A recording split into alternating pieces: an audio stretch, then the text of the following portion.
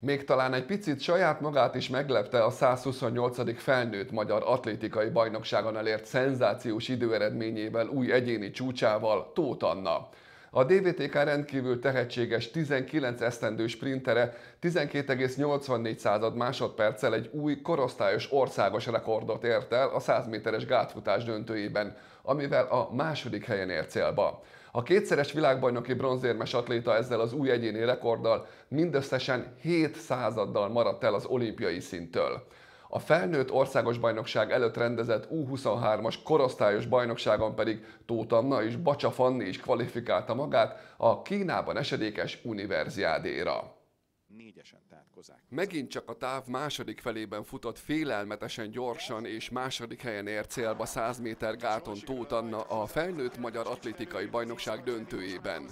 A DVTK 19 esztendős szélvészgyors sprintere újra óriásit futott tehát, és 12,84 másodperccel új egyéni rekorddal ezüstérmet ért el. Atlétikus sportákban ugye mind, ebben az évben minden arról szól, hogy Budapest rendezi a 2023-as atlétikai világbajnokságot, óriási felhajtás, óriási stadion épült, gyönyörű stadion épült, és ugye a, a tesztversenye, nyitóversenye ennek a, a, a világbajnokságnak a 128. felnőtt magyar bajnokság volt ahol, ahol mindenki óriási várakozással ment, ugye új pálya, gyors pálya, mondópálya, meg hát egy csodálatos létesítmény, és természetesen azért ez a bajnokság. Tehát, tehát ide kvalifikál, az, az, az, az meg tudja a legjobbak között mutatni a tudását, és ezen a versenyen Tóth Anna egy, egy nagyon magabiztos előfutammal 13-20-at futott, bejutott a döntőbe, ahol is élete leggyorsabb futását tudta produkálni, már érvényes szélviszonyok között. Hatalmas, nem várt egyéni csúcsot futott, ami, ami az a 12.84, amit futott, azzal látott a Kozák Lucának az U23-as csúcsát a múltnak, 200 ot ravított rajta, és, és, és teljesen váratlanul illetve olyan közelségbe került olimpiai és VB szintekhez, amiről ugye azért a korábbiakban még nagyon álmodozni sem mertünk.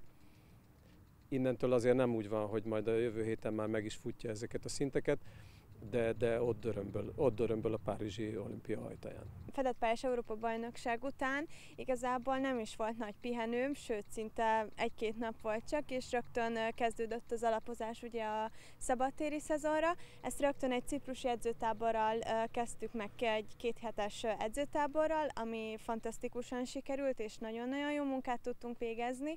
Viszont utána sajnos összeszedtem egy kisebb sérülést, ami azt eredményezte, hogy nem tudtam edzeni.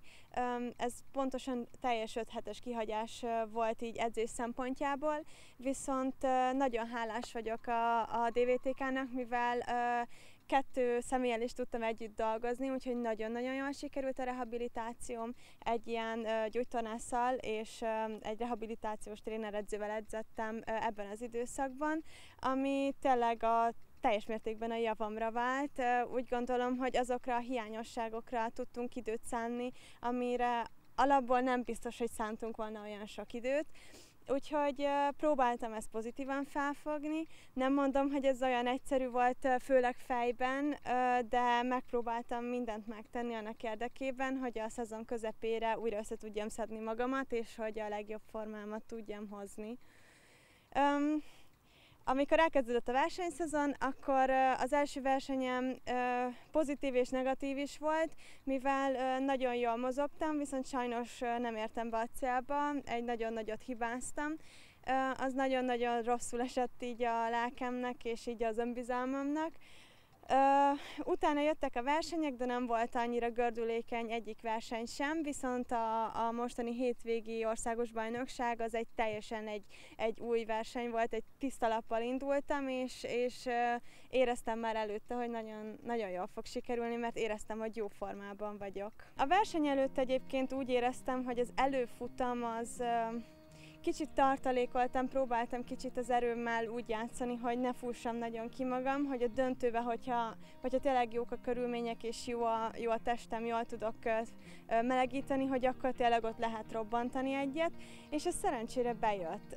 Úgy úgy érzem, hogy nem, nem izgultam, inkább ilyen ö, tele voltam tetvágyal, azt éreztem, hogy már le akarom futni, és, és tényleg, hogy így menni akartam előre, és tiszta volt a fejem, higgadt voltam, és most olyan dolgokat tudtam megcsinálni, amit korábban nem tudtam. Tehát így fejben tudtam jobban most gondolkodni ez alatt a 100 méter alatt, mint, mint például az előző versenyemen. Úgyhogy nagyon, nagyon jó volt, és nagyon élveztem az egészet. Még csak nem is, hogy szélcsend vagy hátszél volt, hanem szembeszélbe futottak, igaz, igaz picibe, meg azért nincs olyan, hogy tökéletes futás, tehát most is azért egy kicsit, a, kicsit a rajt gyengébb volt, a végén már, már, már nagyon be akart élni a célba, ami, ami okozott ott azért egy kis technikai problémát, de hát, de hát ez egy kicsit szőrszálhasogatás, tehát van, van még benne, hogy szoktuk mondani, jó, hál' Istennek van még benne, de magam részéről már, már azzal is elégedett lennék, hogyha a szezon további részében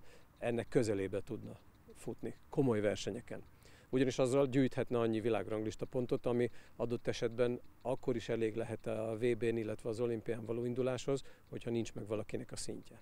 A döntőbeli futást figyelve úgy tűnt, hogy Anna futására is jó hatással volt, hogy a hazai top felnőtt versenytársakkal együtt futhatott, és nem hátrányt jelentett számára a tét kérdeztem tőle, hogy na milyen volt, ott, milyen, milyen volt lent a pályán most itt ebben a Nemzeti Atlétikai Központban, és akkor mondta, hogy hát Józsi bácsi Kenyában, meg Kolumbiában nagyobb volt még ennél is a stadion, tehát ugye tehát, hogy, hogy ő ezzel egy kicsit már úgy hozzá van szokva, tehát ez már őt nem nyomja agyon. Egyébként is egy rettenetesen jófejű versenyző, akit az ilyen körülmények inkább fölfelé spanolnak, húznak, mint, mint, mint hogy összenyomja a teher és még mondta is, hogy a döntő előtt azon, azon idegeskedett, hogy nem idegeskedik. Tehát, hogy, hogy ne, azt mondja, nem, nem, nem izgult.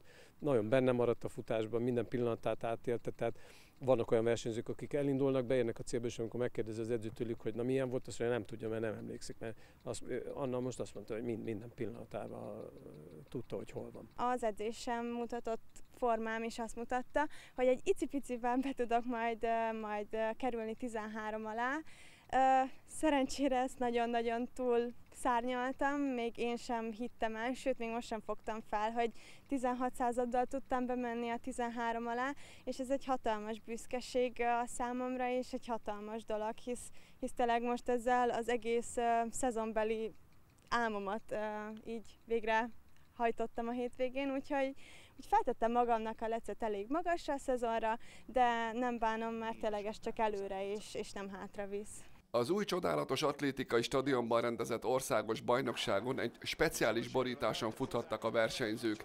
Az úgynevezett mondópálya tulajdonságairól érdeklődtünk. Egy mondópálya az teljesen másabb, mint egy, egy rekordtán. Én legjobban azzal tudom jellemezni, hogy a mondó az keményebb. Én keményebb felületnek érzem, és ezáltal szerintem gyorsabb is de teljesen, teljesen más, mint egy rekordtán talán akkor lehet a legjobban érzékelni, mikor elkezd rajta például lassan kocogni az ember, hogy teljesen máshogy terheli egyébként az izomzatot, de egyébként én nagyon szeretek mondópályán versenyezni, szerencsére már volt alkalmam a mind a két világbajnokságon ilyen pályán futni, és, és nekem eddig az a tapasztalatom, hogy tényleg gyorsabb, szerencsére mindig egyéni csúcsot tudtam rajta futni, úgyhogy ez, a, ez a stadion most ugye ezzel a mondóborítással van leborítva, és, és nekem nagyon bejött. A stadion az pedig gyönyörű szép. Már volt szerencsém stadionokban futni a világbajnokságok során, viszont ha magyar vagyok, ha nem, akkor is azt tudom mondani, hogy ez a legszebb. Még az eddig taglalt felnőtt magyar bajnokság előtt június utolsó hétvégén rendezték meg Győrben az U23-as magyar bajnokságot, ahol a DVTK atlétái Bacsa Fanni és Tóth Anna, mindketten a Miskolci Egyetem hallgatójaként, remek szerepléssel kvalifikálták magukat a nyári kínai univerziádéra, ami július végén kezdődik majd. Ez az univerziádé ez egy elég göröngyös út volt, mert Egyébként alapvetően a gátfutást vettük célba itt is, hogy abba szeretnénk indulni. Viszont, mint kiderült, még a egyetemi bajnokságon távolugrásban megszereztem a szintet, csak volt egy kis káosz, hogy most abban nem indulhatok, indulhatunk, mi se tudtuk pontosan, és hát indulás előtti két nappal vagyis a nevezés előtti két nappal derült ki, hogy be tudunk még nevezni távolugrásba, úgyhogy végül a egyetemi bajnokságnak a eredménye számított bele.